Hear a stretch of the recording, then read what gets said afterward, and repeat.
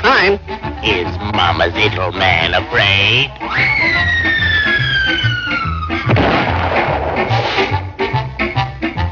You're in the army now. You're not behind the plow. You'll never get rich. You're in the army now.